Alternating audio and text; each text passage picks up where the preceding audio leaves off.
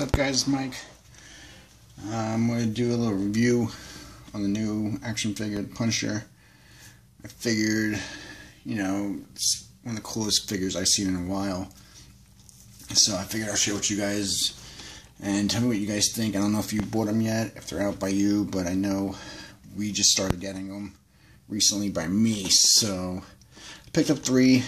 I'm going to have two displayed, one with the original Jim Lee look and one with the other face. And I'll probably just see this other one.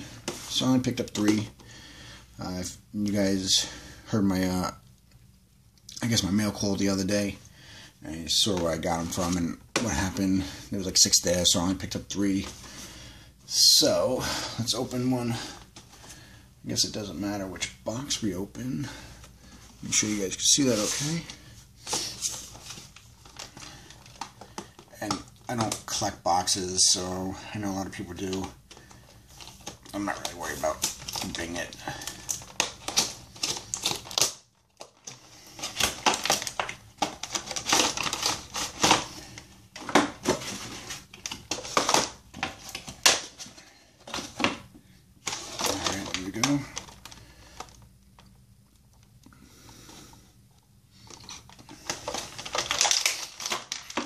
I'm a professional reviewer, but I'm going to show you my.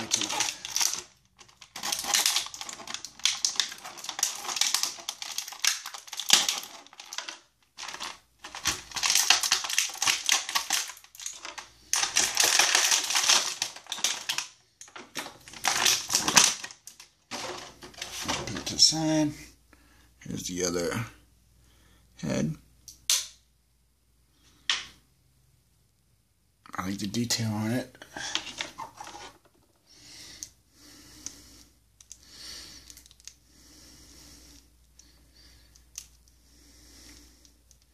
Got little veins in the bicep right there. It's pretty cool. Definitely like it a lot. Not sure about the legs. As long as he stands, I'm good.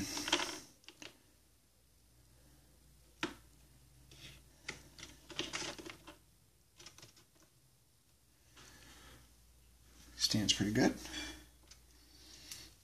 Alright. See how it holds the gun.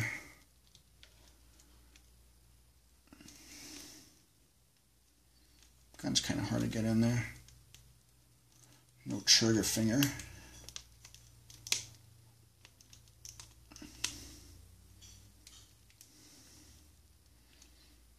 Now break off his thumb.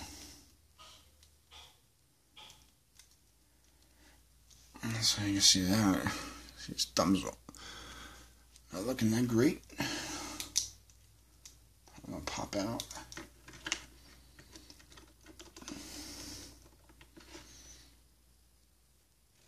It stands good. Like the detail on it. Love the white headband. Bandana. Definitely cool action figure.